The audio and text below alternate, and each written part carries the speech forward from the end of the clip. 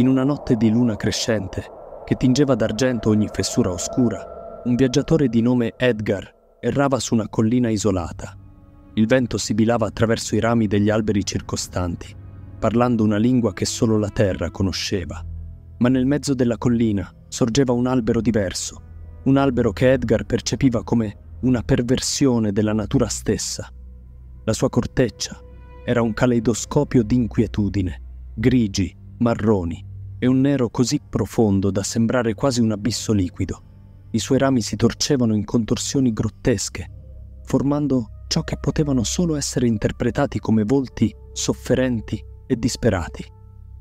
Edgar sentì un'attrazione spaventosa verso quell'entità vegetale. La mattina seguente cercò il più anziano tra i residenti del villaggio vicino, un uomo con occhi vitrei e una pelle increspata dal tempo.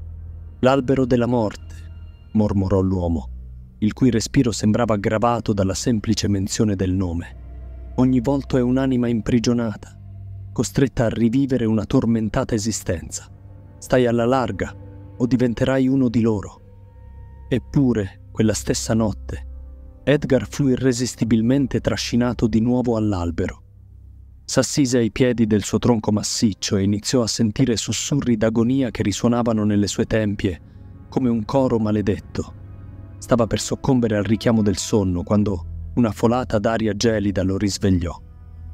I volti nei rami sembravano ghignare in quel momento, come custodi di un orribile segreto.